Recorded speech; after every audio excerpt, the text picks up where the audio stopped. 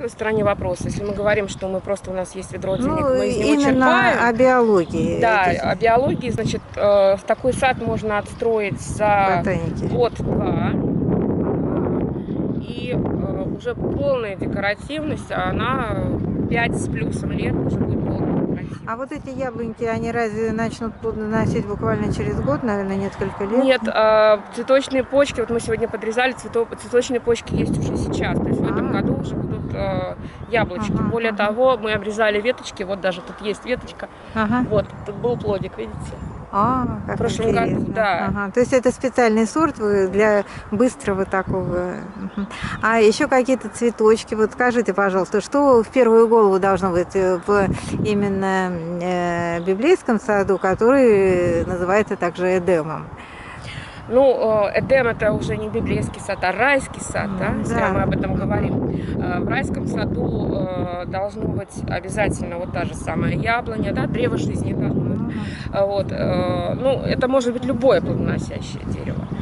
Вот, но э, так как э, мы находимся в России, то яблоня для нас это как бы, ну, как основа плодового сада, поэтому мы говорим о ней однозначно. Значит, это обязательно какие-то очень красивые цветы, соответственно, это розы, гвоздики, пионы. То есть вот опять-таки то, что есть в наших палисадниках. Мгм, То есть это не конечно. надо далеко убегать на юг, в Ну, сторону понятно, да. Иерусалима, это да. Естественное такое, да, то, что да. естественно Да, растет. райский сад это сад э, красоты, э, соответственно, это все то, что красиво.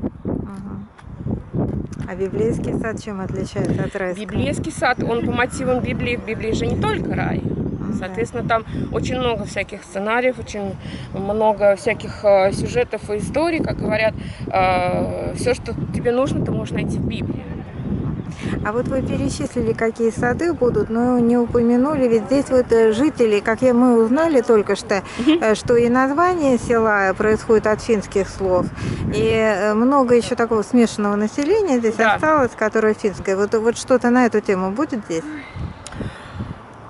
Вы знаете, я думаю, что именно поэтому здесь и не было православного храма, потому что тут вокруг везде население все-таки, Протестанты. да, ко- которое, Вепс. в общем, как бы не православное. Мгм. Вот, поэтому исторически так сложилось, что здесь их нет.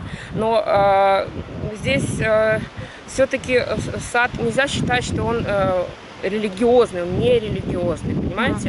Это э, больше светское что-то, да, которое э, имеет отношение к вере. А вера у каждого своя. Э, Не случайно здесь возникнет еще три сада, которые принадлежат вообще не христианству. в Другим принципе. конфессиям, Да, да-да-да. да. Мгм. Поэтому я думаю, что этот сад будет абсолютно дружественным ко всем, кто здесь проживает и проживает здесь исторически. Ну, дай бог.